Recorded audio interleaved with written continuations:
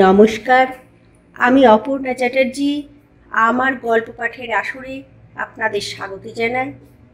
আজ আমি আপনাদের বিভূতিভূষণ বন্দ্যোপাধ্যায়ের লেখা আতুরি ডাইনি গল্পটি পাঠ করে শোনাব। আমার অনুরোধ, শেষে আতুরি ডাইনি কী করেছে সেটা যেন আপনারা শুনবেন। আর আমার এই গল্প পাঠ যদি ভালো লেগে থাকে, তাহলে লাইক কমেন্ট শেয়ার ও সাবস্ক্রাইব করে আমার পাশে থেকে আমাকে উৎসাহ দেবেন। কয়েক মাস কাটিয়া গিয়াছে, ভাদ্র মাস। অপু বৈকালবেলা বেড়াইতে যাইবার সংকল্প করিতেছে। এমন সময় তাহার মা পিছনে ডাকিয়া বলিল, কোথায় বেরুচ্ছিস রে অপু? চাল ভাজা, ছোলা ভাজা ভাজছি, বেরুস না যেন, এক্ষুনি খাবি। অপু শুনিয়াও শুনিল না। যদিও সে চাল ভাজা, ছোলা ভাজা খাইতে ভালোবাসে বলিয়ায় তাহার মা তাহার জন্য ভাজিতে বসিয়াছে। ইহা সে জানে, তবুও সে কি করিতে পারে? এতক্ষণ কে খেলাটাই না চলিতেছে নীলুদের বাড়িতে? সে যখন বাহিরের দরজায় পা দিয়াছে, মার ডাক আবার কানে গেল। বেরুলি বুঝি? ও বউ, বারে, দেখো মজা ছেলের। গরম গরম খাবি?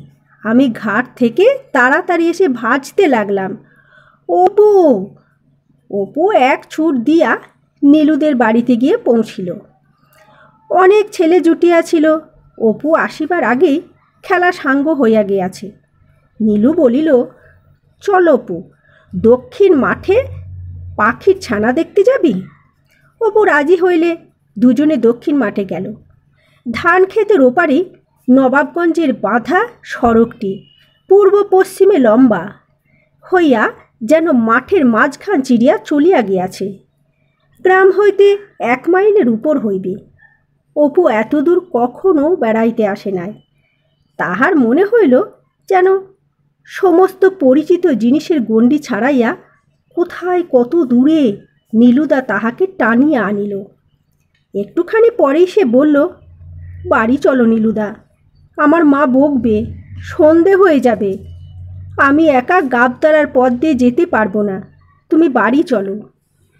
ফিরেতে গিয়া নীলু পথ হারাইয়া ফেলিল। ঘুরিয়া ফিরিয়া কাহাদের একটা বড় আমবাগানের ধার দিয়া একটা পথ মিলিল। সন্ধ্যা হইবার তখনও কিছু বিলম্ব আছে। আকাশ আবার মেঘ ঘনাইয়া আসিয়াছে। এমন সময় চলিতে চলিতে নীলু হঠাৎ থমকাইয়া দাঁড়াইয়া অপুর কুনুয়ে টান দিয়া সম্মুখের দিকে চাহিয়া ভয়ে ছুঁড়ে বলিল, ও ভাই অপু! অপু সঙ্গীর ভয়ের কারণ বুঝিতে না পারিয়া বলিল, কিরে নীলুদা? পরে সে চাহিয়া দেখিল, যে সুরে পথটা দিয়া তাহারা চলিতেছিল, তাহা কাহাদের উঠোনে গিয়া শেষ হইয়াছে।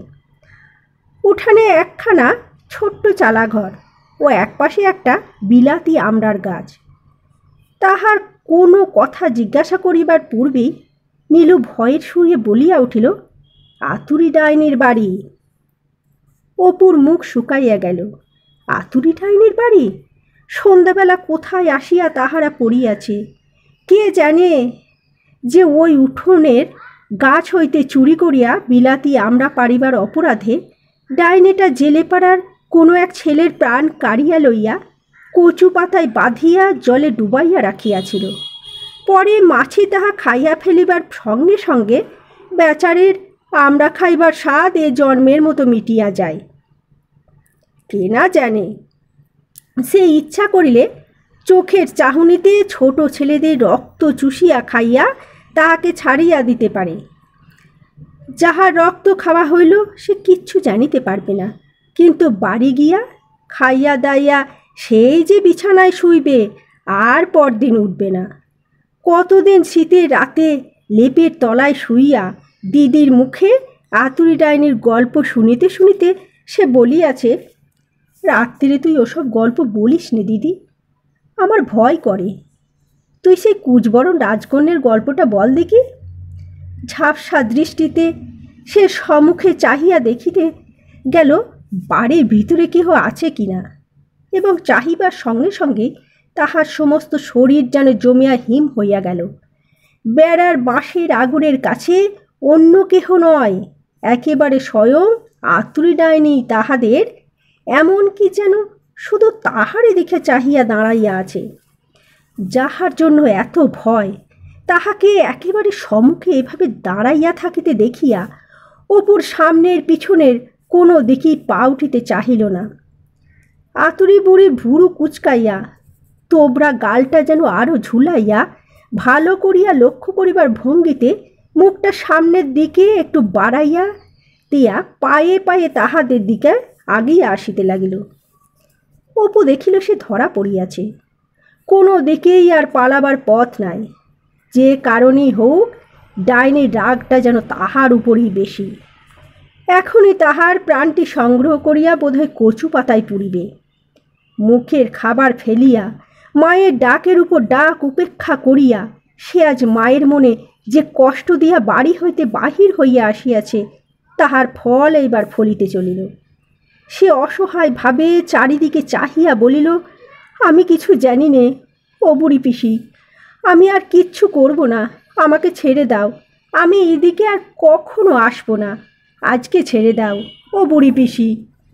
নীলু তো ভয়ে প্রায় কাঁদিয়া ফেলিল। কিন্তু অপুর ভয় এত হইয়াছিল যে চোখে তাহার জল ছিল না। বুড়ি বলল, ভয় কি মোরে? ও বাবারা, মোরে ভয় কি? পরে খুব ঠাট্টা করা হইয়াছে ভাবিয়া হাসিয়া বলিল, মই কি ধরে নেব খোকাটা? এসো, মোর বাড়িতে এসো আমচুর দিবানি এসো। আমচুর। ডাইনি বুড়ি ফাঁকি দিয়া ভুলাইয়া বাড়িতে পুড়িতে চাইতেছে গেলেই আর কি। ডাইনিরা, রাক্ষসীরা যে এরকম ভুলাইয়া ফাঁদে ফেলে, এরকম কত গল্প সে মার মুখে শুনিয়াছে। এখন সে কি করে? উপায়?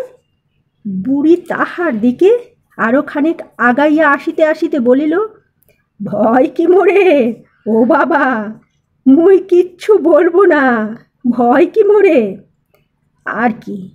সব শেষ।